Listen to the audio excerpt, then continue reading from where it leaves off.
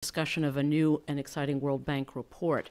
Um, as we know, there's a lot of good news from the region. This concerns uh, the historic reductions in poverty over the last decade due to cash transfers, the growth of the formal labor sector, the increase in wages, um, and economic growth in general as a result of the commodity boom. In the first decade of the 2000s, the World Bank, among others, has told us that about 50 million people moved into the middle class. Um, and as the World Bank reported in its widely quoted uh, 2013 report, um, for the first time in the region's history, the numbers of poor and of middle class people in Latin America are about equal. However, last year's report was also critical in pointing out that the largest class in the region consists of those who are considered vulnerable, those who are above the poverty line of about $4 a day, um, but below the middle class level of $10 a day. This group faces a high risk of falling back into poverty. In addition, inequality in the region has improved.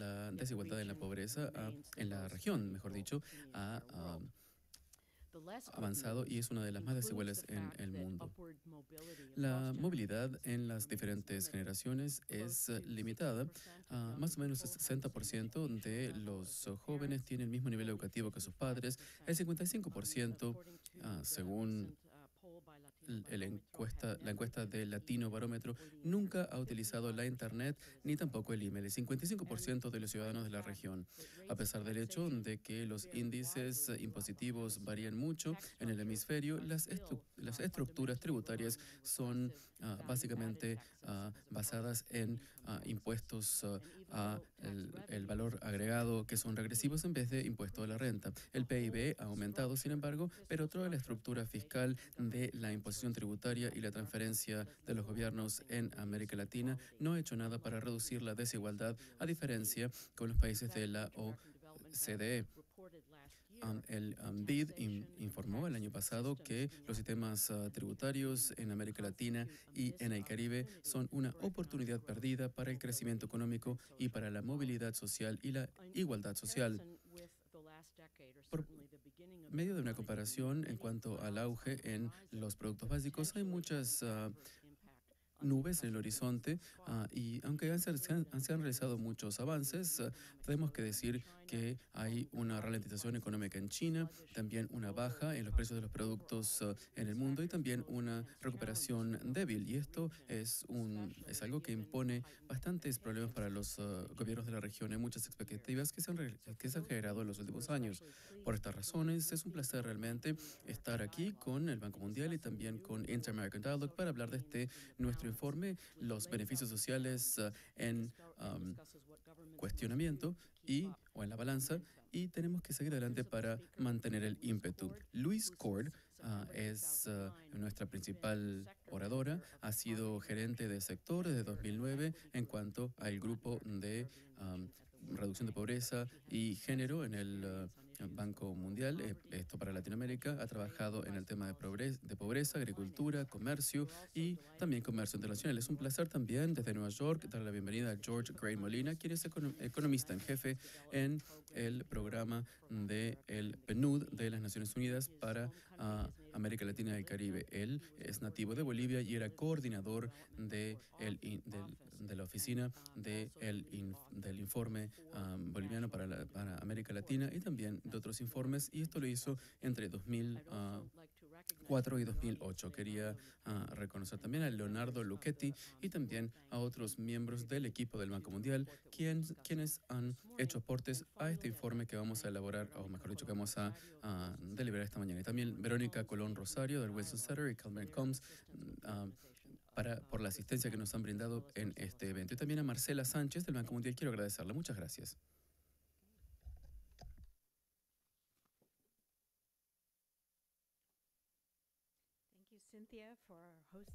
Muchas gracias, Cintia, por ser aquí la anfitriona, a Jorge también por moderar y también por George eh, por haber venido desde Nueva York. Hay algunas, ah, bueno, algún poquito de nieve en este momento, pero no tanta como esperábamos. Es un placer para mí estar aquí.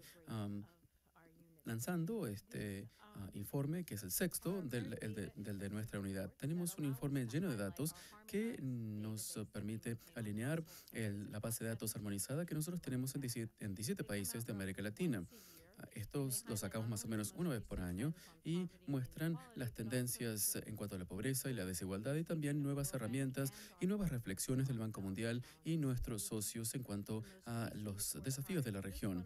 El informe anterior tenía que ver ah, con el tema de la prosperidad compartida del Banco Mundial y también cómo esto se aplicaba a América Latina y también las opciones de política que nosotros teníamos en materia de promoción en la región y también en cuanto a las ganancias de las mujeres y la contribución que hacían en cuanto a la reducción de la pobreza y también la reducción de la desigualdad que existe en la región en los últimos años. Recientemente, en el contexto de ah, proyecciones más modestas de crecimiento, como dijo Cindy, a, a nivel mundial y en América Latina, y también en el marco de este informe en cuanto a un declive o a un, estancamiento en la desigualdad en la región desde los años 90, es más importante ahora que nunca ah, ver cómo podemos utilizar las políticas fiscales para promover la reducción acelerada de la pobreza y también ah, la reducción de, ah, de la pobreza en la región y el aumento de la prosperidad en ella. Tenemos aquí, en, aquí también el señor Luchetti, a Liana Sousa, a Oscar Varilla, a toda esta gente que también trabajó como autores ah, principales de este informe que voy a compartir con ustedes en esta presentación en PowerPoint.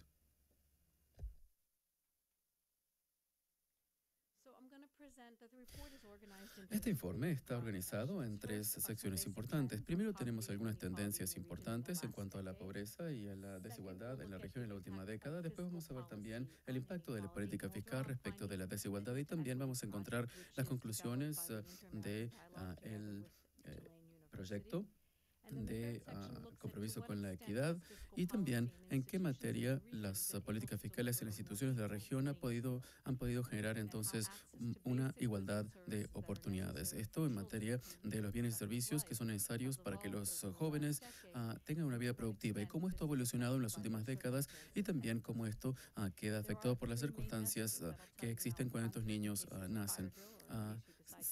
Si ustedes ah, deciden ir- irse antes, ah, quería decirles que hay temas importantes que, que quería am, plantear, eh, plantearles. La pobreza siguió bajando muchísimo en el 2012 en América Latina. Hubo más o menos una baja del ah, 1,4% en la pobreza moderada, es decir, la de menos de 4 dólares por día. Fue del 26,3 al 25,3.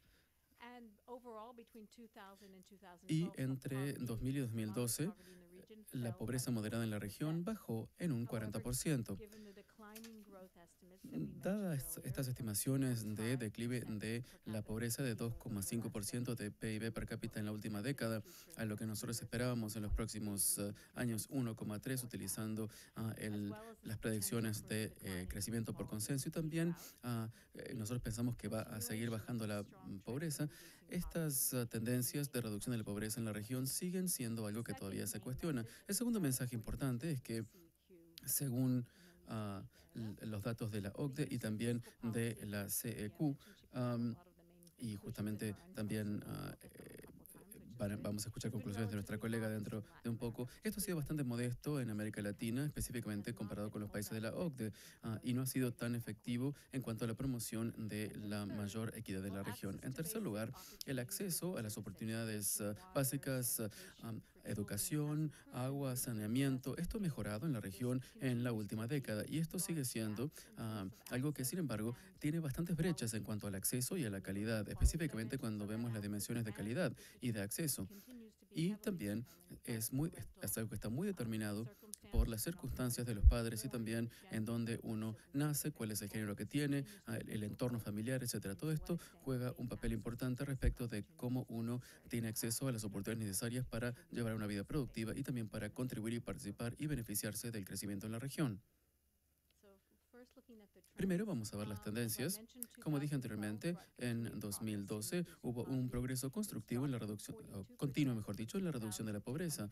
Ah, tenemos ah, el, el 22% en 2000 al 25% en 2012, más o menos 600 millones de personas que vivían en la pobreza, más o menos una de cada, perdón, de 600 millones de personas en América Latina que vivían en la pobreza, una de cada cuatro está en una situación de pobreza ahora, es decir, con 4 dólares por día es más o menos el promedio de las líneas de pobreza nacionales en la región y este es un nivel que es insuficiente para cumplir las necesidades en materia alimentaria, de vivienda, ah, eh, también gastos eh, de salud, eh, educación, etcétera. Así que una de cada cuatro personas en la región están debajo de la línea de pobreza que mencionamos. También hay un declive en la pobreza en los últimos años porque hay ah, un 70% de este declive que tiene que ver con ah, las mayores ganancias en el mercado laboral ah, y en general los hay un 60% de las ganancias del mercado laboral que la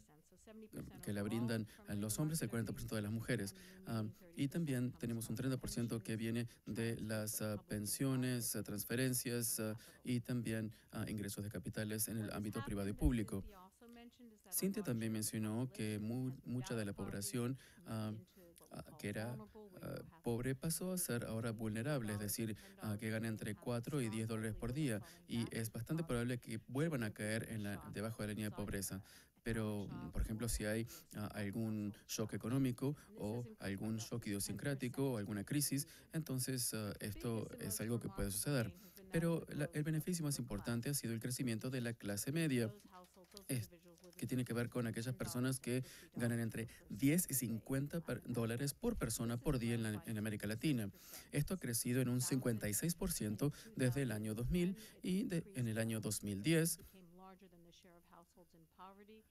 Este ámbito es mayor que el de los, ah, las viviendas que están en ah, el ámbito de la pobreza.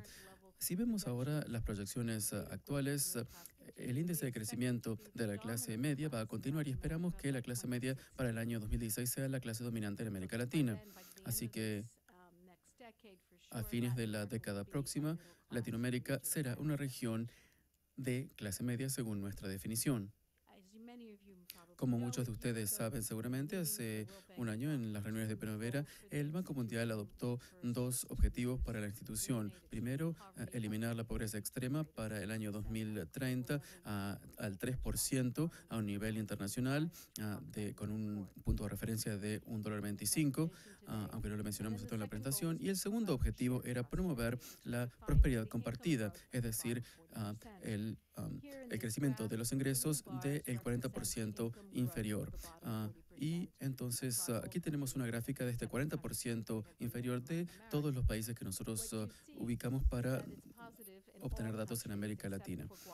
todos los países, excepto Guatemala, han entrado en este ámbito. Fíjense que ustedes encuentran esta parte celeste que, tiene que, que tiene que ver con la media.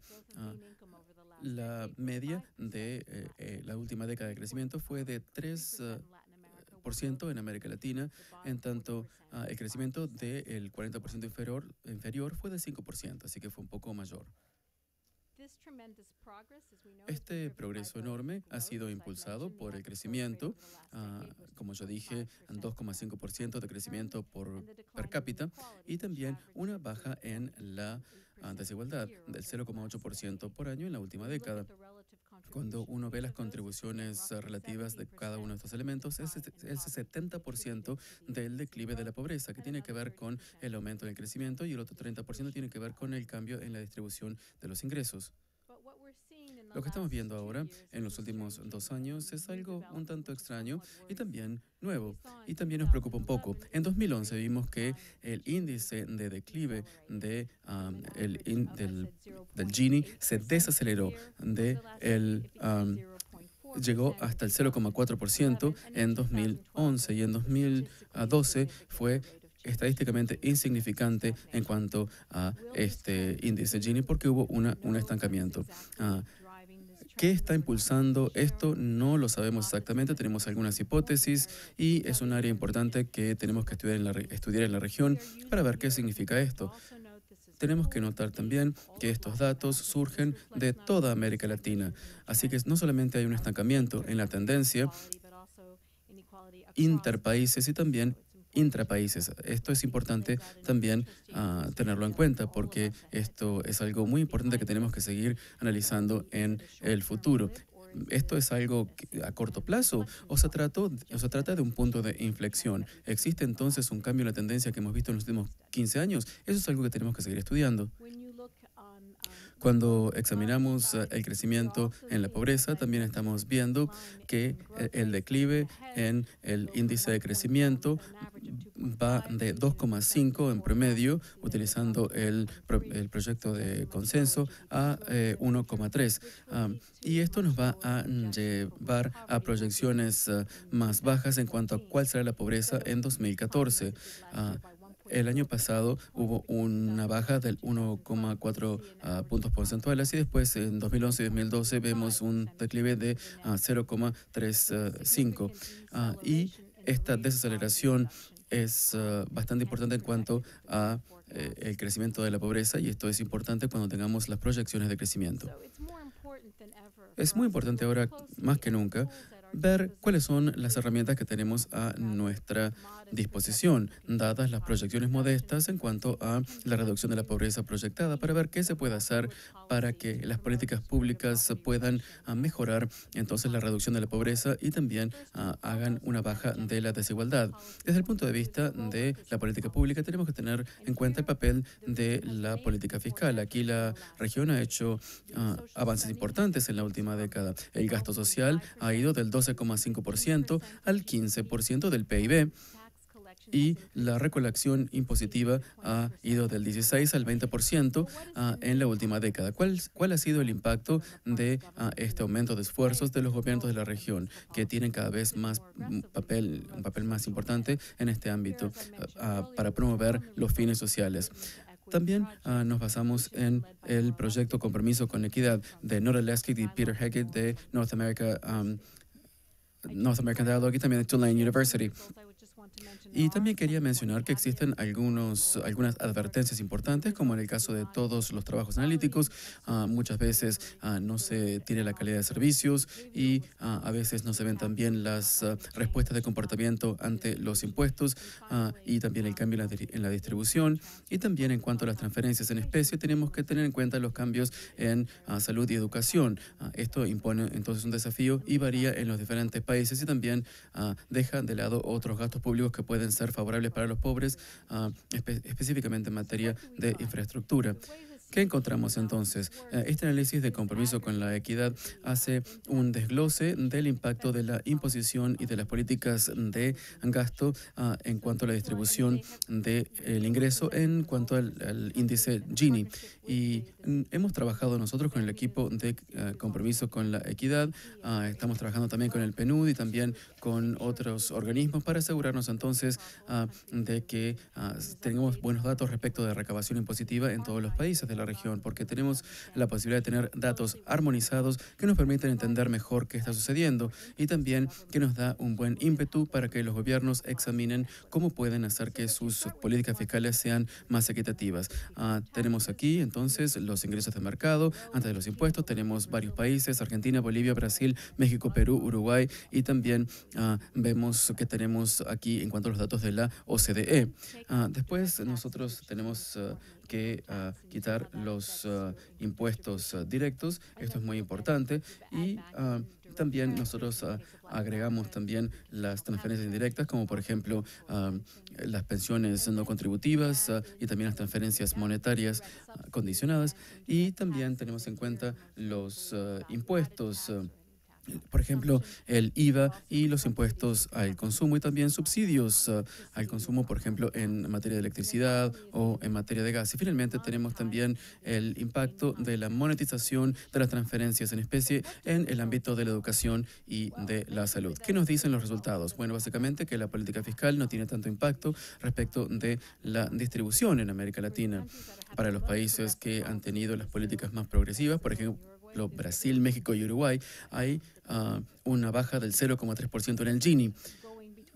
Y si vamos entre el ingreso ah, del mercado Y si llegamos hasta el, ingreso post-fiscal, eh, en donde se quitan también las transferencias uh, en especie, si se hace una comparación con la OCDE y se compara esto con con el 45 al 35 del Gini, llegamos entonces a, una, a un declive uh, para Brasil, México y Uruguay del 0,3%. Perú y Bolivia tenemos, tienen un, una pequeña subida en la desigualdad debido a la política fiscal.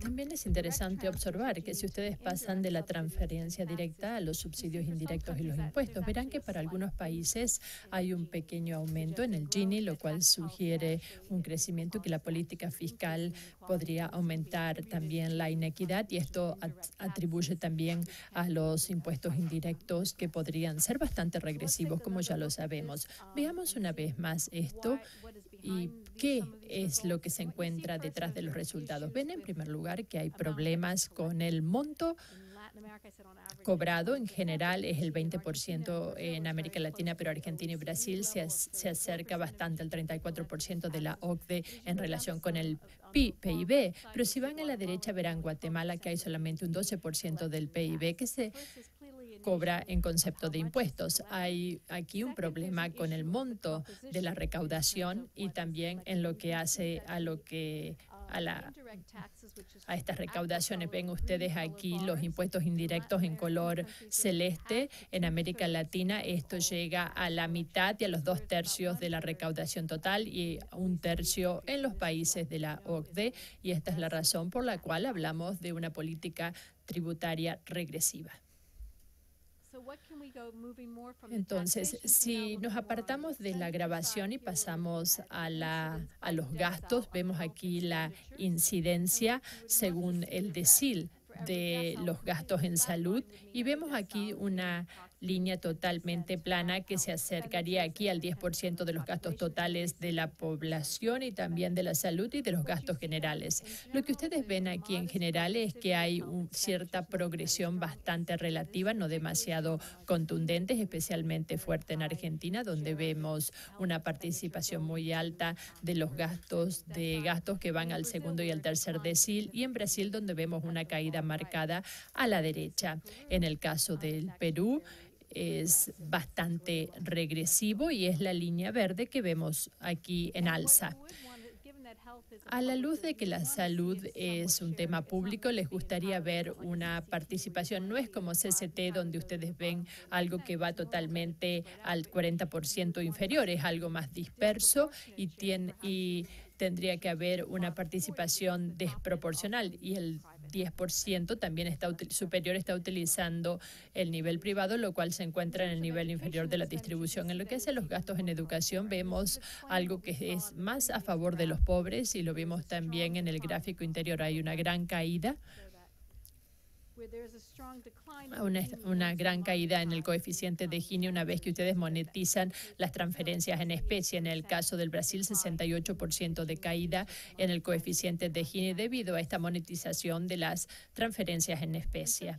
Y aquí vemos también los gastos en educación y verán que básicamente son a favor de los pobres y y están beneficiando al 40% inferior, con la excepción de Bolivia, donde ven aquí eh, el hecho de que los gastos sustanciales en Bolivia son para la educación terciaria, mientras que en los otros lugares son para el... En este país estaría beneficiando a la clase media alta. No estamos aquí analizando temas de calidad, ya lo vamos a ver cuando pasemos al al índice de oportunidades humanas como esto es realmente importante en América Latina. Pasemos ahora a esta otra dimensión y no solamente la asignación del dinero y cómo se utiliza la recaudación fiscal a nivel general, sino más estrechamente quién tiene acceso a estas reservas y cuán equitativa es, equitativo es este acceso y eficaz según las situaciones iniciales. Aquí estamos analizando el índice de Gini que, Gini que cubre las diferentes oportunidades y estamos también analizando el índice de oportunidades humanas y las situaciones familiares, por ejemplo, el nivel de educación de los padres o si estamos hablando de una zona urbana o rural y si esto va a repercutir en la probabilidad de que un niño tenga acceso a salud, educación, agua, saneamiento, incluso cubrimos hasta el acceso a Internet. Analizamos los niños menores de 16 años porque los vemos cuáles son los bienes y servicios que se les entrega y esto es independiente de su esfuerzo y es parte de la responsabilidad de la política pública. Aquí simplemente a manera ilustrativa lo que nosotros queremos decir con este índice de oportunidades humanas, tenemos aquí la comparación entre dos niños. En, el Brasil, Julia, quien vive en la zona rural de Bahía con tres hermanos, madre soltera sin educación y se encuentra en el segundo quintil. Tiago vive en Río, tiene dos hermanos y ambos padres en el hogar se encuentran en el cuarto quintil. Podemos ver aquí a la izquierda agua, acceso al agua. Julia tiene 80%, 77% probabilidad de tener acceso a agua potable en el hogar. Y esto ha aumentado en los últimos 10 años, lo cual muestra los avances en Brasil en lo que hace al acceso a la infraestructura básica. En el caso de Tiago, es prácticamente seguro de que en el hogar de Tiago habrá acceso al agua potable y esto no se ha modificado con el transcurso del tiempo o en los últimos 10 años. El reto real es cuando analizamos el valor representativo de la calidad de educación. Veremos, veremos que en el caso de Julia es del 60% y para Tiago la probabilidad es diferente. seguramente Julia llegará al sexto grado de manera correcta en el tiempo, mientras que esto no era así hace unos años. Y en el caso de Tiago es muy superior, pero una vez más solamente es un 80%, 80% y algo, y es una caída de lo que había en 2012 2012 en comparación con 2000. Quiere decir que este tema no se ha solucionado, especialmente en lo que hace a mejorar la calidad para la clase media lo cual presenta también una disyuntiva bastante interesante cuando uno analiza la clase media en la región y, lo que, y el significado que puede tener en lo que hace a la calidad mejorada de los servicios. No es sorprendente, nosotros lo sabemos, este es el índice de oportunidades humanas para demostrar quién tiene acceso a la educación en estos países. Por lo general es bastante alto en la región, se acerca a 100%, pero cuando ustedes analizan Honduras, Nicaragua y Guatemala, entre los niños de 10 a 14 años y la y el índice de asistencia escolar, vemos aquí que Guatemala es un tanto superior, pero en general llega a un 80%. La diferencia entre la tasa de cobertura, el punto celeste y la barra es la, la desigualdad, es decir, en qué medida hay, hay oportunidades o acceso a bienes que están asignados incorrectamente según las circunstancias. Pero el, el reto en América Latina tiene que ver con la calidad de la educación. Estamos aquí analizando el puntaje de PISA en lo que hace a la capacidad de lectura y también la capacidad de poder leer a un nivel que indique competencia. Y esto es bastante abrumador. Tenemos a la derecha los países de la OCDE y a la izquierda algunos países de América Latina. Podemos ver aquí que incluso en Perú, Colombia, Uruguay, Argentina, los niveles de acceso a educación, los niveles de competencia educativa son muy bajos y la distancia entre el punto celeste y la barra azul es más grande. Quiere decir que el acceso de la a la educación se ha distribuido de manera muy desigual en los países, ya sea son hijos de padres pobres o son hijos que viven en zonas urbanas. Hay una gran diferencia con aquellos hijos de familias de zonas urbanas y no rurales. Y esto también va a determinar las oportunidades para lograr la movilidad social. Se ha demostrado que entre el 20 y el 30% de la desigualdad y la distribución de los ingresos representa también este acceso desigual que tenemos en América Latina desde un inicio. Entonces, esto no es solamente importante para repercutir en el tema de la desigualdad en el futuro, sino también en lo que hace a la tasa de crecimiento en la región. Nosotros sabemos que ya hubo problemas con la productividad e incluso cuando hay un sistema educativo que se desempeña a este nivel, se crean grandes retos y en especial cuando esta región se transforma en una región de clase media, ¿cómo podemos competir con esta brecha tan marcada y tanta desigualdad en lo que hace al acceso a la educación? Una vez más, el agua y el saneamiento que se abordan en el informe. Tenemos aquí destacado el agua, tienen acceso muy limitado, en especial en América Central, Honduras, Nicaragua. Este índice de oportunidades humanas es muy bajo y ven ustedes una gran brecha entre la tasa de cobertura en celeste, en celeste perdón, y el índice en azul. Y esto es en especial en el caso de agua, ya sea en zonas urbanas o rurales, o rurales pero también está determinado por el nivel educativo de los padres de manera no tan sorprendente. A manera de conclusión, me gustaría simplemente repetir algunos de los puntos que mencioné anteriormente. Hubo un avance social muy marcado para reducir la pobreza y promover la prosperidad compartida, pero también hay algunos nubarrones en el horizonte con proyecciones de crecimiento modesto y también un enlentecimiento posible en la, en la caída de la, de la desigualdad. La clase media llegará a ser la dominante en el 2016 y también esto nos lleva a muchos de los retos que se mencionan en el informe, lo cual mencionaré al concluir. En segundo lugar, la política fiscal sigue siendo uno de los instrumentos subutilizados en gran medida en América Latina y el Caribe en lo que hace a los a la grabación y a las políticas de gasto y esto no se está utilizando para repercutir y reducir la, la, desigualdad. En último lugar, el acceso a las oportunidades básicas para tener una vida productiva. las tasas de acceso son desiguales en algunos casos se pierden oportunidades críticas y esto está muy influenciado por las circunstancias de los padres, lo cual indica que la movilidad intergeneracional es muy baja y va a seguir también enfrentándose a retos a futuro. Para mí, la gran esperanza a futuro es el crecimiento de la clase media y si la clase media que exige mejores mejor calidad en los servicios y que está preparada para invertir en el contrato social también pueda mejorar la calidad de las oportunidades para los pobres, los vulnerables y también sumarlos y mejorar sus necesidades. Tenemos que concentrarnos en esto también y mejorar la credibilidad y la capacidad de respuesta de las instituciones a la clase media y esperar que podamos dar la vuelta y aprovechar sus ganancias para también repercutir de manera positiva en, en los hogares con menores ingresos en la región. Muchas gracias.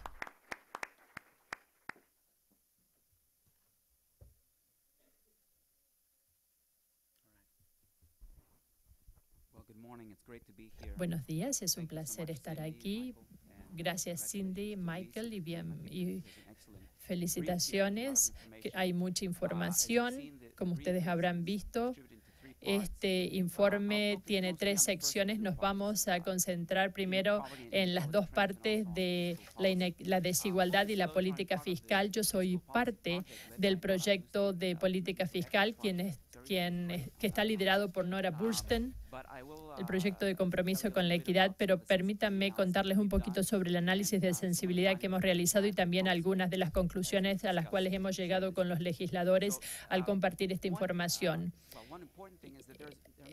Es importante ver que hay, muchos títulos, la distribución de la pobreza, hay mucha información que en mi opinión será útil para las conversaciones más abiertas. Permítanme convertir, comenzar perdón, con las conversaciones sobre la pobreza y la desigualdad. La idea es que el estancamiento en la ha ido bajando y ya está también bajando la desigualdad. Hemos visto mucha desigualdad y una gran caída en esta desigualdad porque se ha reducido la pobreza en América Latina. El informe utiliza datos conjuntos y también datos según cada uno de los países y según estos datos conjuntos o generales vemos que hay estancamiento. Si se fijan, por ejemplo, en lo que se informa, en lo que se informa en esta publicación entre el 2000 y el 2010, el coeficiente de Gini de estos datos demostró una caída del 0,94% y luego hay una caída a 0,35% en 2010 a 2011 y luego llega a 0,2 en 2010 y 2011. Entonces, este periodo de 2010 a 2012 es el que más nos interesa. Ayer mi colega y yo, mi colega Eduardo Ortiz, realizamos algunos análisis de sensibilidad para tratar de ver cuáles son los países que están encabezando este estancamiento, declinación. Claramente México es una gran parte de esta situación, no, no, solo en estos datos conjuntos, sino también en la situación de política. Vemos una caída y una alza de la desigualdad entre 2010 y 2012. Pero si ustedes modifican los parámetros, analizamos periodos quinquenales del 2007 al 2012, del 2004 al 2011, periodos de seis años, desde 2004 al 2012, etcétera. Entonces, estamos jugando con diferentes situaciones hipotéticas y confirmamos lo mismo que Luis vio en lo que hace al, al estancamiento y podemos agregar México también a México y otros países, Bolivia, Colombia, Bolivia, Colombia, Costa Rica, Colombia, Honduras, México y Paraguay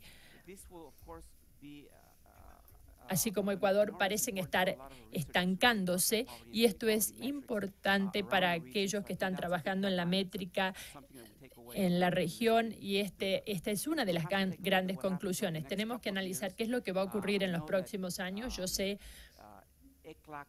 que el panorama social de la CEPAL mostró una caída en la pobreza utilizando las caídas nacionales de la pobreza, lo cual es diferente a estos datos que están armonizados. Aquí están utilizando niveles de 2,5 dólares por día. Y Panorama Social también hizo referencia a 2010 y 2011. Entonces se está corroborando la misma información, pero a nivel nacional se está informando un año antes en relación con los datos armonizados y esto es bastante interesante. Permítame ahora pasar a lo que sería la situación si este estancamiento sigue aumentando y por eso es que es importante analizar este tema. Si nosotros pensamos en cuáles son los elementos determinantes de la caída de la pobreza en los últimos años, hay cinco de estos determinantes que parecen ser los más cuatro que son, parecen ser los más importantes. En primer lugar, tenemos los ingresos de la mano de obra. El 70% una, vio una reducción y una reducción de un 50-60% en la calidad. Entonces, este tema es importante. Los otros efectos son las transferencias sociales, las pensiones, así como el cambio demográfico, más personas, más horas. Estos cuatro factores explican al menos el 90% de la caída. Yo no creo a título personal que haya gran cambio en el impacto que tienen las transferencias y también los cambios sociales entre el 2010 y el 2012. Yo creo que grandes cambios, los grandes cambios se ven en los ingresos en el mercado laboral y este también será el foco de las conversaciones en el futuro. Una posibilidad, como lo acaba de indicar Luis, en sus conclusiones es que tal vez esté solamente relacionado con el crecimiento en los últimos años. Este, esta caída no se relaciona con cambios en el rendimiento de la educación. Esto es algo que vamos a ver como un rebote más adelante a medida que va pasando el tiempo. Pero la segunda posibilidad es que esto es más estructural y lo que está ocurriendo es que la tasa de rendimiento para la educación se modifica. Si ustedes sigan la bibliografía, la la brecha de las aptitudes entre los trabajadores calificados y no calificados estaba en descenso.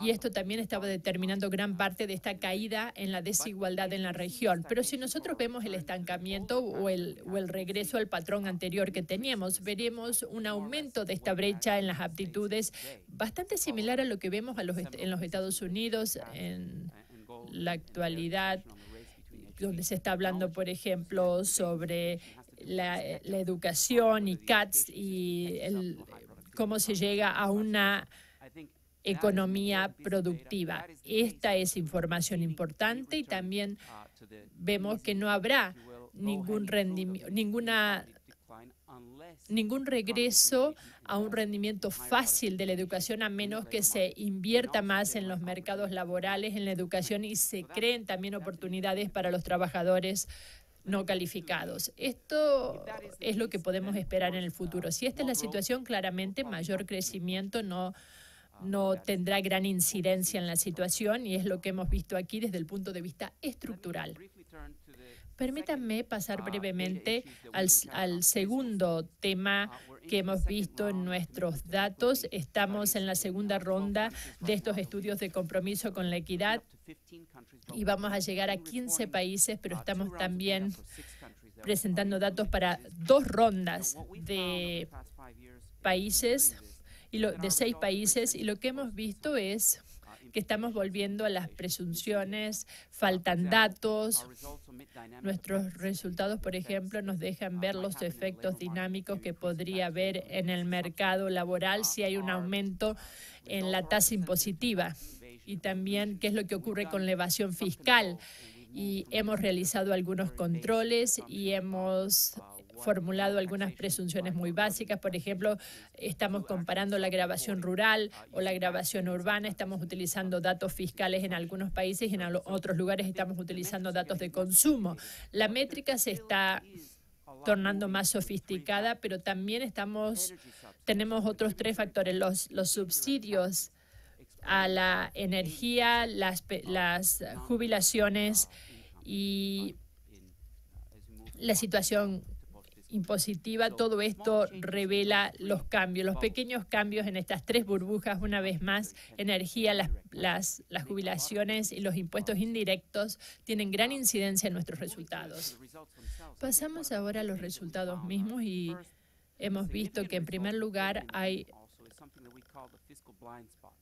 un punto ciego fiscal. Quiere decir que gran parte del efecto de las transferencias condicionales y las transferencias de efectivo tienen también la incidencia de las políticas impositivas regresivas. Lo hemos visto también en muchos países y por un lado lo que lo da el Ministerio Social lo quita el Ministerio del Tesoro o de Economía. Entonces lo que hemos visto en algunos países es que esto llega hasta el tercer decil y es un tanto preocupante. La idea sería que esto esté por encima del cuarto decil hasta el quinto o el sexto para llegar a un sistema progresivo y mantenerlo. Entonces, este es uno de los puntos, este punto ciego. En segundo lugar, es la respuesta de política. En PNUD hemos estado compartiendo estos datos con algunos países, hemos estado mostrando la información a ministros de finanzas, al gobierno de Honduras, Costa Rica, Ecuador y Perú. Y no solamente hemos mostrado, así como la República Dominicana, pero también hemos introducido cambios en los subsidios, en la grabación y cómo podemos dirigir los gastos sociales. Y hemos visto que en general los ministros de finanzas no quieren trabajar con el tema de la grabación, sino que se concentran más con el gasto social. Pero estamos viendo también problemas en el Caribe, y en algunos países de América Central vemos una retracción y aquí vemos una gran diferencia entre la imposición y el gasto y tal vez esté llegando el momento de realizar una reforma impositiva y vemos también una diferencia entre la política fiscal y los mercados laborales como determinantes de la política social. Finalmente, creo que la cuestión de política que todavía nos queda eh, en este ah, trabajo, y creo que es un informe sumamente interesante este, es el tema de cuál es ah, la combinación de políticas óptima para aquellas, ah, aquellos países que quieren reducir su pobreza y su mm, desigualdad. Tenemos que esperar un par de años para confirmar esta tendencia de la, del estancamiento, pero pensemos, por ejemplo, si estos datos empíricos son ciertos.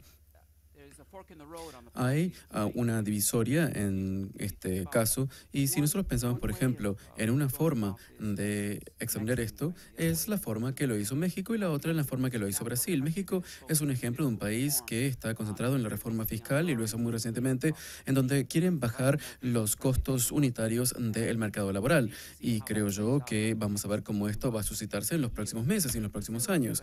Brasil, por otro lado, ah, ha avanzado con ah, tener un sistema de protección social de todo el ciclo de vida y, una, ah, una eh, un ámbito industrial para compensar con los costos laborales más altos. Entonces, tenemos que ver la realidad de que los salarios están subiendo, los salarios reales están subiendo y esto dicen que es malo para los negocios, pero bueno para la sociedad. Y la reducción de la pobreza depende de esto. Lo que nosotros sabemos entonces es que la reducción de la pobreza está sucediendo en el sector de servicios interno y esto está ah, vinculado con el auge de los productos básicos y también tenemos que ver cómo ah, esto está afectando el sector comercial y las exportaciones y también el sector ah, interno. Si nosotros vemos uh, una caída en el índice de crecimiento, vamos a ver que el efecto del consumo se va a retraer y vamos a ver el efecto neto de la reducción de la pobreza en los sectores más robustos de la economía. Uh, y uh, vamos a ver qué es lo que queda después de que nosotros vemos un, un, declive en el auge en el consumo. Estos temas van a ser de mucho interés. Ustedes pueden leer todo esto todas las semanas en la revista The Economist pero creo que los medios no tienen entonces una forma de ver los matices de los datos. Y nosotros que trabajamos en política y en investigación podemos darles a ustedes esta idea. Uh, gracias a Luis, gracias a los demás. Uh, realmente este, este, es un tema que vamos a estar uh, debatiendo en los próximos meses. Y con esto me detengo. Muchas gracias.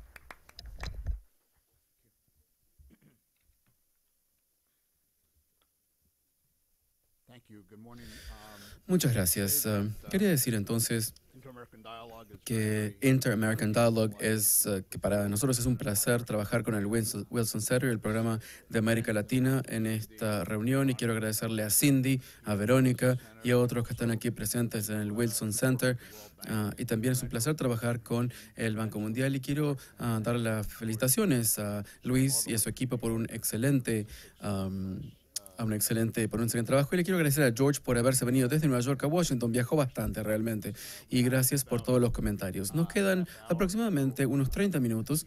Así que veo que está la gente aquí en el público y seguramente ustedes estarán allí esperando para formular las preguntas. Y como dijo George, creo que hay mucho material aquí y también muchos temas que podemos examinar.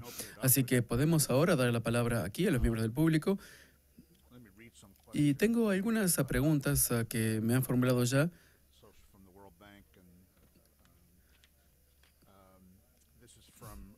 Esto viene de Uruguay, esto es en el marco del Banco Mundial, de Cecilia Mansi de Uruguay. La educación es una forma de terminar con el ciclo vicioso de la desigualdad, pero a pesar de los grandes esfuerzos, ah, los gobiernos muchas veces no tienen en, no tienen esto en cuenta. ¿Cómo puede ser que los ciudadanos hagan que los gobiernos los escuchen? Y tenemos a Walter Quiñones de Ecuador. Teniendo en cuenta ah, las necesidades básicas de los países de América Latina, ¿cuál sería el, porcentaje ideal del PIB que debe invertirse en el sector social? ¿Tiene Latinoamérica los, los recursos necesarios para reducir la pobreza de sus pueblos? Para reducir la inequidad, ¿tenemos que, que fortalecer las instituciones públicas? Esa es otra pregunta.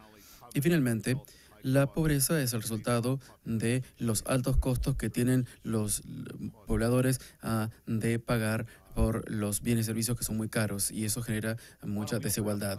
Bueno, esas son algunas preguntas. Ah, podemos entonces eh, formular unas preguntas aquí en la sala y Luis puede pensar en estas preguntas ah, mientras tanto. Así que le pedimos a la gente que por favor se identifique y por favor haga breves preguntas y haga un comentario, una pregunta, pero que sean breves.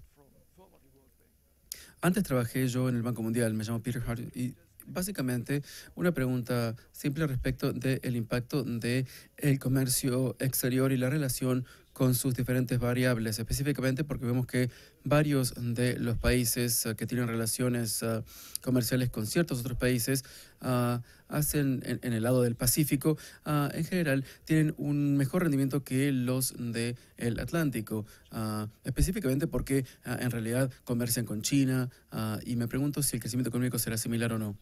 Muy bien, muchas gracias. ¿Alguna otra pregunta? Comencemos con usted, señor. Muchas gracias. Soy Ellen Rosenberg. Ah, trabajé antes con la OPS y ahora soy consultor.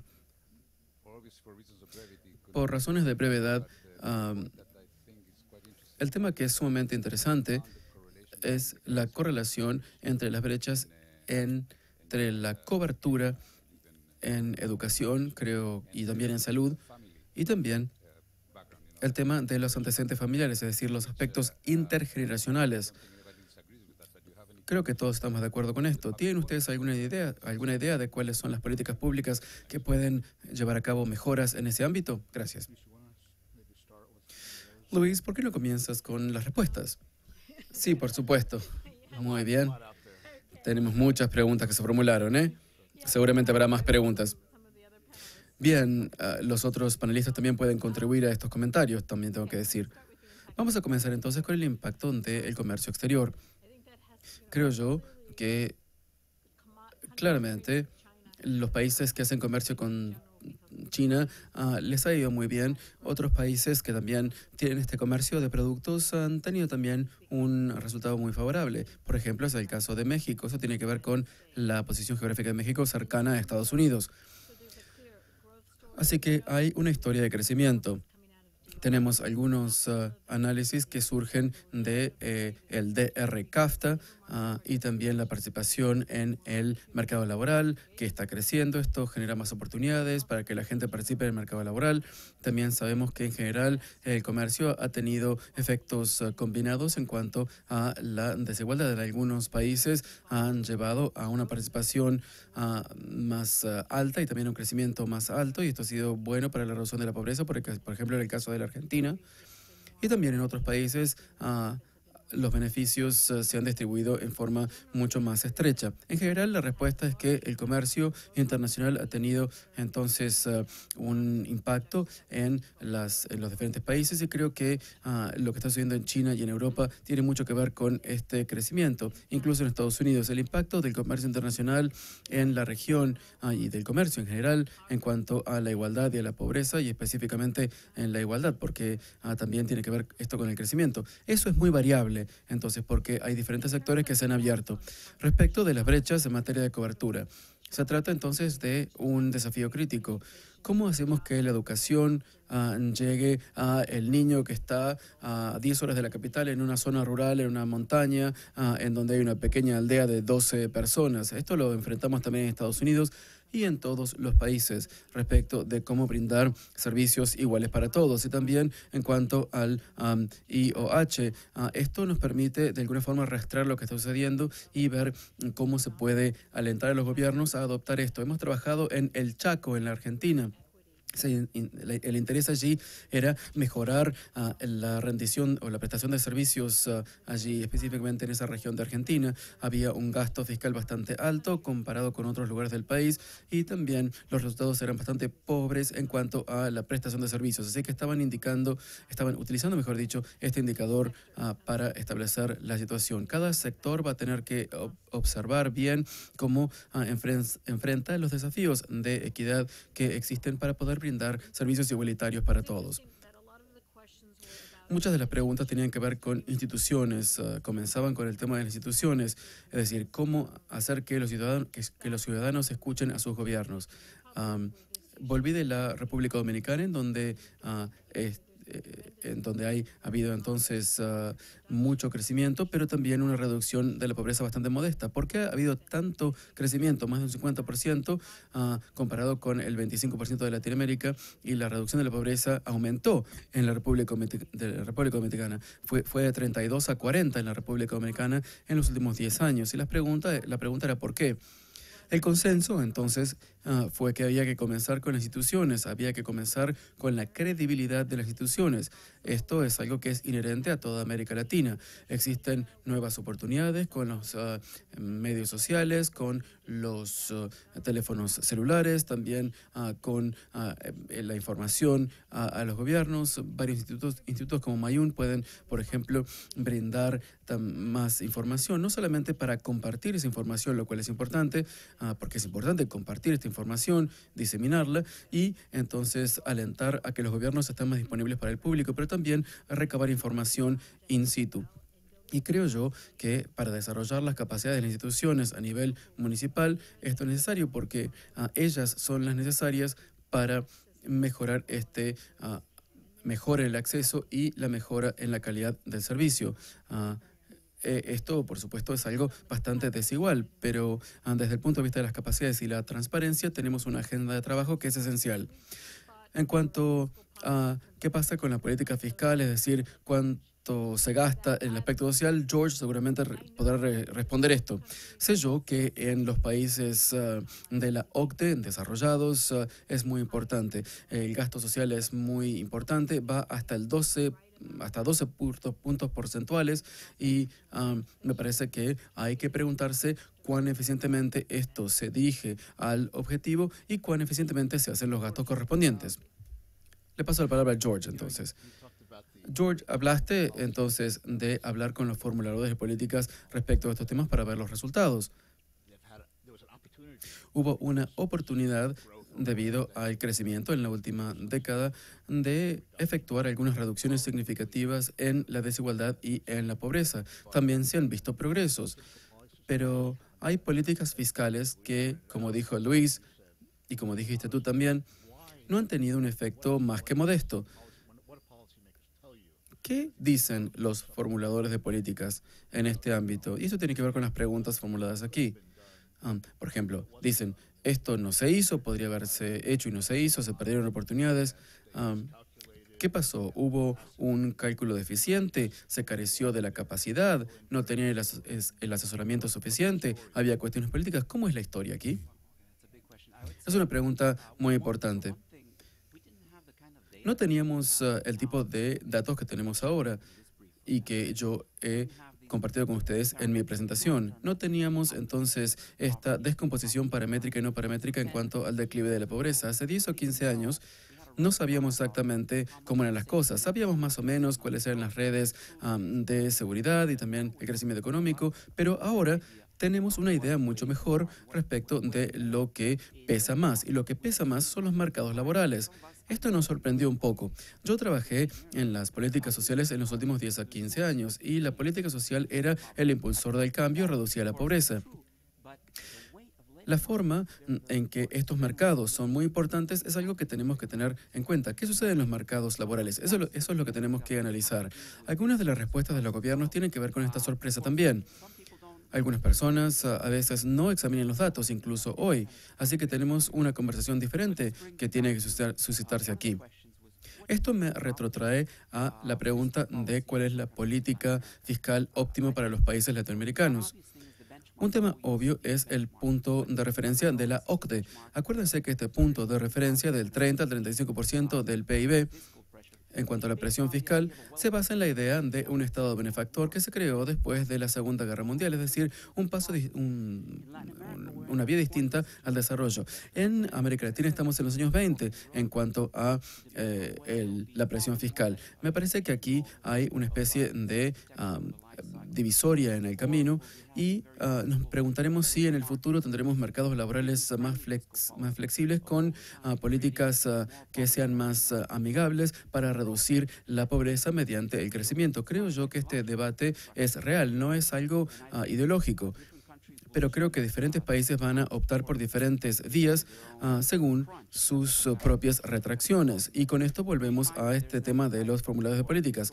Hay un apetito para la reforma fiscal, específicamente cuando es bastante tarde, cuando las cosas ya están muy mal y existe un alto nivel de deuda. Ah, ah, frente al PIB y cuando el déficit es mayor al 6%. Allí es cuando a todos nosotros nos llaman el PNUD, el Banco Mundial, el FMI, Ah, y ahí es donde comienzan estas deliberaciones. Generalmente esto pasa tres o cuatro años más tarde. En el PNUD nosotros hablamos de ah, estas, ah, esta agenda de la facilidad de obtener los beneficios del crecimiento, pero nosotros pensamos que a futuro tenemos una especie de estancamiento de la pobreza y entonces tenemos que mejorar los logros sociales y económicos. Esto cuesta más desde el punto de vista de las políticas y también hay cambios en el poder que serán más intensos. Así que las instituciones son importantes, se dice, ah, y es importante para el desarrollo, pero lo que encontraremos ahora que ah, las cosas fáciles, ahí ya se, ya se llegó a un nivel estancado. Así que tenemos que pensar más en el punto de la política. Rubén tiene la palabra. Rubén, Rubén Barrera con Natimex, la agencia mexicana de noticias. Luis habló del efecto de la imposición tributaria en cuanto a estos beneficios. La conclusión en el informe indica que ah, basarse en ah, los impuestos ah, indirectos es lo que genera algunos de estos beneficios. ¿Usted entonces propone ah, eliminar algunos de estos impuestos o reducir el nivel de ellos? Me pregunto si entre estos elementos ustedes estaban ah, aludiendo a las imposiciones ah, tributarias que impuso México a los refrescos. Esto ha generado muchos problemas en México y muchas, muchos comentarios en México. No quiere enfrentar usted, enfrentarse usted a Coca-Cola, ¿no es cierto? No se va a enfrentar a Coca-Cola. Buenos días. Soy Marco Bastos de Brasil y estoy trabajando aquí en la Organización de Estados Americanos. ¿Ver- ¿Ven ustedes algún vínculo entre eh, los regímenes de tipo de cambio y la reducción en la desigualdad y en la pobreza? Dado que los regímenes de tipo de cambio desempeñan un papel importante y tienen una influencia muy grande en la conducta de los mercados eh, laborales nacionales. Gracias. Gracias a usted. ¿Otra pregunta más? Soy David Dond, economista del USAID. Tengo una pregunta para los dos oradores. No estoy en desacuerdo con la conclusión de que la política fiscal ah, es un instrumento subutilizado, pero se han hecho varias referencias en el texto y en la presentación respecto de un problema de que los impuestos indirectos son percibidos como más regresivos que los directos. Hace más o menos 15 años se hizo una investigación respecto a este tema en África. La hizo un hombre del Harvard Institute para el Desarrollo Internacional y por lo menos en África Oriental, eso quizá no sea mm, verdad, porque los pobres rurales de las zonas rurales ah, consumen tantos productos no imponibles ah, o evitan los impuestos, así que no quedó tan, tan claro este tema para ese grupo de impuestos, es decir, no era regresivo. Entonces, ah, hay algunas pruebas o algunas investigaciones recientes en cuanto a la regresividad de los impuestos directos frente a los directos, los indirectos frente a los directos. Una pregunta más, entonces. Muchas gracias, William Marlowe, de la Global Foundation for uh, Democracy Development. Mi pregunta surge de ah, haber viajado en diferentes países en ah, América Latina, eh, en Brasil, Ecuador, Haití, Cuba y la República Dominicana. Mi pregunta surge de algo que yo ya pregunté en esos países a aquellas personas que están en los estratos más bajos de la economía. Es decir, ¿cuál es el impedimento más grande que enfrentan ustedes para su propio crecimiento económico o social? Ellos me dijeron en general que habían abandonado todos los esfuerzos, independientemente del país o de la gente con la que yo hablaba. ah, uno conversa con ellas y ellos nos dicen, no, ya nos hemos dado por vencidos. Ah, esto, por supuesto, no es una investigación cualitativa, simplemente eran preguntas. ¿Hay alguna investigación que tenga en cuenta esto? Y si no existe este tipo de eh, investigación, ¿qué hacemos para aumentar la moral del nivel más bajo de la población en términos económicos? Buenos días, Daniel Pedraza de la Universidad de Colombia tengo una pre- de Colombia sobre los datos de la Embajada de Colombia y tengo una pregunta sobre datos que indican que Colombia se encuentra en un proceso de estancamiento. ¿Qué tipo de datos respaldan esta conclusión y cuáles son las medidas que deben ser eh, escuchadas por el gobierno?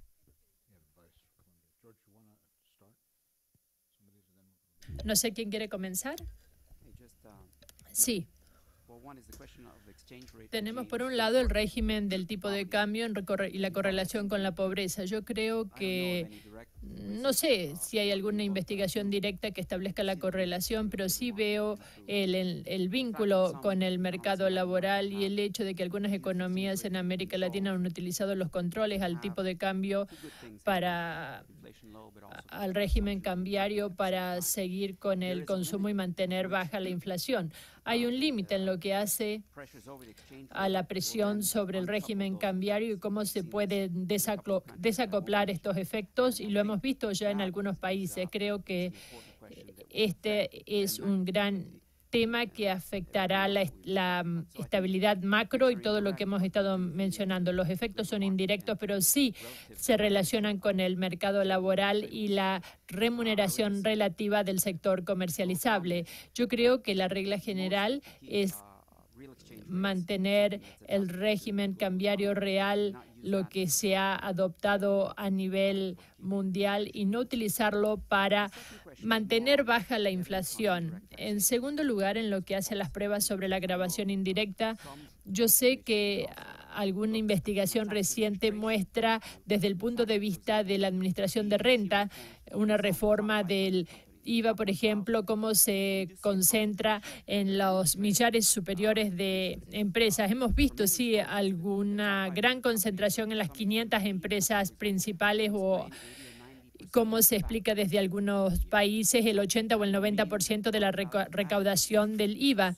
Entonces, esto quiere decir que hay cierto valor agregado y que se asume que está siendo aportado por cada decil de manera proporcional quizás esté siendo contribuido por las primeras 500 empresas o 1000 empresas, pero el segundo tema también tiene que ver con la evasión fiscal. Y esto también repercute con los patrones de consumo en zonas rurales. Tenemos que analizar los datos de impuestos, pero construir también estudios específicos y hay casos, por ejemplo, en el Brasil, México y también Bolivia que abordan estos temas. Pero en términos generales, en América Latina los impuestos indirectos sí tienen un impacto regresivo y vemos eh, esto que se desprendió del trabajo de Moraluz analizando aquí el efecto regresivo antes y después e incluyendo también los impuestos sobre los ingresos de mercado. Este efecto es bastante sólido en estos países, con lo cual yo creo que vale la pena analizar el estudio que se publicó en la web y de SEC y también cómo esto está repercutiendo en la distribución y en la inequidad, en la desigualdad. Esto está, esta información está en la, página web de Compromiso para la Equidad, con la Equidad.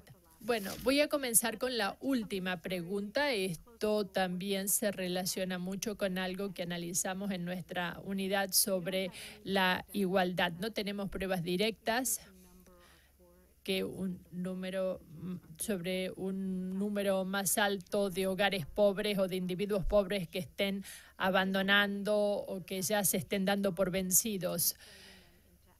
¿Y cómo se puede traducir esto en acciones? Porque los hogares pobres por lo general se enfrentan a barreras sistémicas en lo que hace a hogares en los cuales el jefe de familia se encuentra en situación de indigencia y también hay un trato diferencial en los mercados y en las instituciones. Esto puede socavar la sensación de urgencia que nos lleve a tomar decisiones y a implementar estas decisiones. Estamos trabajando para tratar de comprender este concepto de urgencia y de ser pobre y tener también aspiraciones y cómo esto se puede convertir en una realidad para superar las barreras sistémicas. Estamos viendo muchos ejemplos y muchas cosas en las cuales nos podemos concentrar. También analizamos el tema del género, del sexo, como por ejemplo las aspiraciones de las mujeres, cómo cambian al estar en contacto con otras líderes femeninas y cómo también pueden aprender mutuamente, facilitar el acceso para superar las barreras al mercado laboral. Trabajamos también con jóvenes mujeres para formular un plan de vida y también enseñarles a utilizar los teléfonos móviles, recordarles que se puede trabajar con un plan de vida y qué es lo que uno puede hacer para lograr eh, llegar a ese objetivo. Estamos analizando el tema del embarazo entre las adolescentes, cómo podemos también tener acceso al control de la natalidad y qué, es lo que se puede hacer entre las adolescentes, por supuesto, y cómo podemos también trabajar con estas mujeres para ingresar al mercado laboral, incluir temas lógicos en las políticas, obtener, por ejemplo, la posibilidad de ofrecerles un mapa para llegar del hogar al consultorio. Estamos tratando de abordar este tema, no tenemos datos sistémicos sobre el alza o la baja, en especial porque es un tema muy difícil de medir y estamos analizando también la introducción de algunas medidas en estos censos intrafamiliares. Creo que George ya respondió a las preguntas sobre la grabación indirecta, con lo cual no voy a hablar más sobre ello, pero sí creo que hay muchas presunciones subyacentes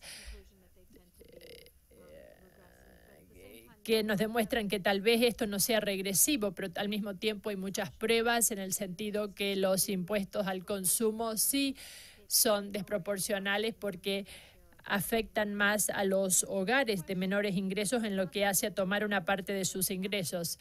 No queremos eliminar los impuestos indirectos, pero si ustedes recuerdan las políticas de la OCDE que mostré en el gráfico, esto es parte de un paquete y América Latina está utilizando en gran medida esta grabación indirecta y hay que sí utilizar la grabación a la renta, pero también la grabación a los productos, a los servicios. Hay diferentes instrumentos tributarios que se pueden utilizar. En lo que hace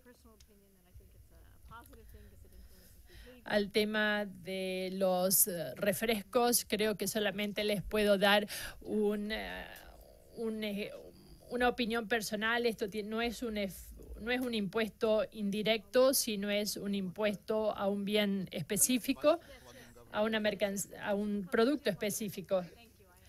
Sí, la pregunta del caballero de Colombia. En lo que hace el estancamiento en Colombia en 2012, sí, Colombia logró reducir la, la pobreza y también hizo un pequeño avance para el control de la desigualdad. La tasa de caída del coeficiente de Gini se ha desacelerado. Hubo una pequeña caída en 2012 en comparación con 2011. En lo que hace la pregunta más amplia que tiene que ver con el impacto de política y qué es lo que se puede hacer, yo creo que el gobierno actual está realizando varias reformas y están realizando algo que para mí es muy interesante y que otros países podrían considerarlo. Están realizando un enfoque integrado para las protecciones sociales y la reforma del mercado, una reforma fiscal con el cambio de algunas grabaciones políticas impositivas para que haya mayor equidad, en especial con esta meta en mira están reduciendo también el impuesto a la nómina y están incluyendo programas de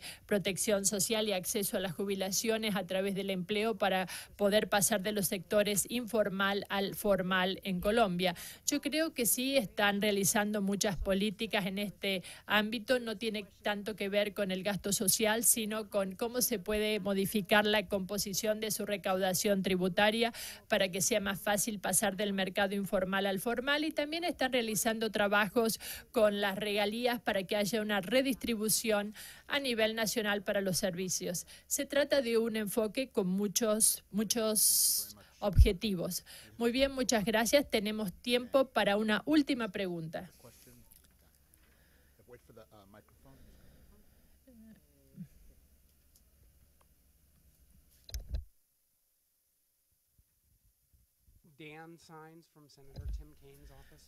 Dan Sire, George, usted mencionó que México no estaba siguiendo el curso de Brasil y parece que usted está haciendo hincapié en que ellos no resaltan el proteccionismo social. ¿Quiere decir que a usted no le impresionó demasiado la última reforma fiscal? ¿Fue insuficiente o está recién eh, comenzando a surtir efecto? ¿No era parte del objetivo lograr un sistema tributario progresivo que se concentre más en el impuesto a la renta para financiar el sistema de seguridad social? Y vos creías que ibas a salir de esto ileso. Muy bien, aquí una última pregunta. Mi nombre es Héctor Luisi. En lo que hace a los datos de la OCDE, ¿está usted excluyendo a Chile, México y a Turquía y Estonia? Gracias. Todos, miembros de la OCDE. George, lo vamos a poner a él primero en situación difícil y luego pasamos a la OCDE. Bueno, esto es lo que ocurre cuando uno viene aquí a Washington. La respuesta directa es que es difícil evaluar el impacto de las reformas mexicana y brasileña. Vamos a ver cuál es el desempeño en los últimos, en los próximos años. Se ofreció asistencia a GDSOL para poder realizar cambios y pasar del sistema regresivo al progresivo sobre la base de los impuestos indirectos. Yo creo que sí, todavía nos falta por hacer mucho, pero en términos generales, cuando nosotros comparamos con Brasil, que es uno de los grandes protagonistas de la región, Brasil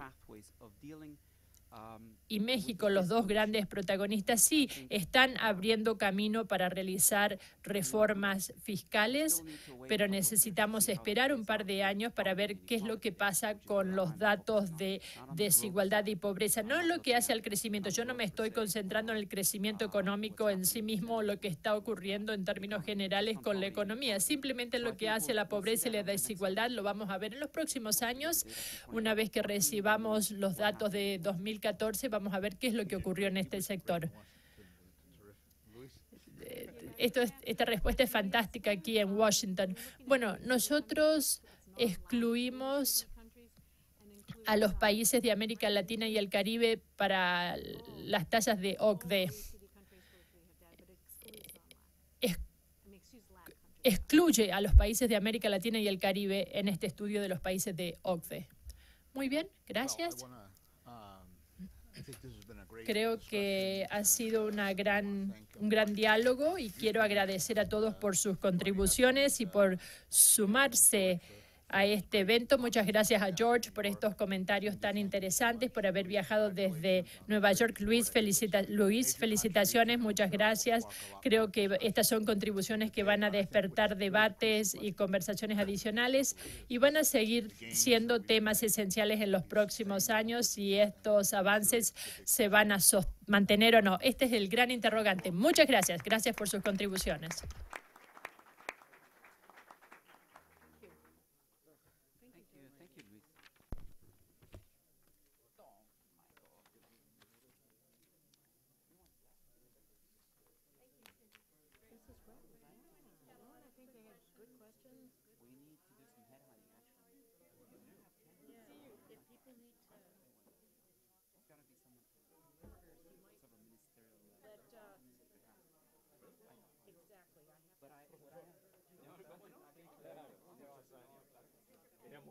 Éramos un...